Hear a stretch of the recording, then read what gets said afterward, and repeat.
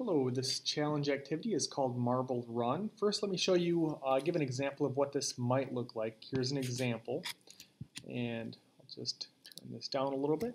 Here's a marble, and here we have paper plates, we have paper towel rolls, and uh, toilet paper roll, a couple of those.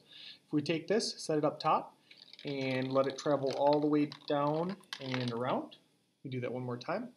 You can see that we're taking this marble and getting it from uh, a height of 12 inches or more and taking it all the way down to the ground without it falling. So that's kind of our challenge here, and the question being, can your students, can they work together to build something like this? A couple hints, a couple things to talk about. Uh, the plates that you might want to have for this activity are the kind where there is, uh, it's definitely curved right here. The paper plates that look like this, uh, they don't have that much curve, and so it'd be quite a bit of a challenge to do. There are some bowls where they have quite a curve that you could use if you wanted tighter uh, turning radius turning radiuses. Um, you have to look to see if your your marbles are going to fit inside those. And another thing that you could do is the inside of the plate that is unused. Uh, the kids could make those into some funnels by cutting a uh, cutting a slit in it turning this around and then marking out where the opening would be on the bottom and cutting that out. And again, the, the whole goal here is for the kids to work together in their group to figure out how they can take uh, this ball from the top all the way to the bottom. Some things that they're going to be looking at would be, you know, as I start this, as I try this, what's not working? Why is it falling off? And how can how can we fix that? A couple of things that I've needed to do here would be there's one section on the back back here you can't really see. I can lift it up a little bit.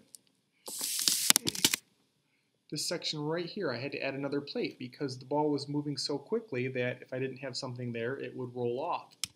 And those are some questions that you can be asking as a teacher during this process or at the end is, you know, when your ball fell off, what did you do? You know, what brainstorming was there? What did you try? Did it work? Did it not work? Uh, how did how did you get things to eventually work?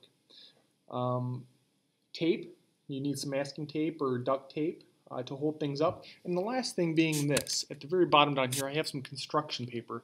This really helps in terms of uh, setting up some paper towel rolls or some toilet paper rolls and keeping them from sliding around as the, as the children are, are trying to build this. One last comment that I might make is this. Once you have a plate if you wanted to save some time on this project, uh, you as the teacher, you could cut out the inside and just provide them with the outside lip. They can use, let's see where it's video. You can use the inside edge right here.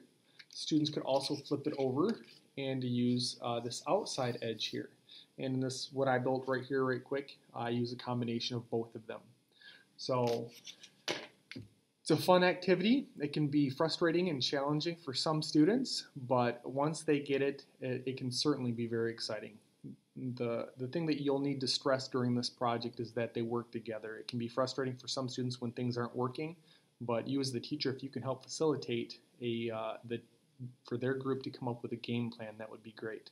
And then uh, hopefully your kids will come up with some exciting things that they can showcase to others in their class.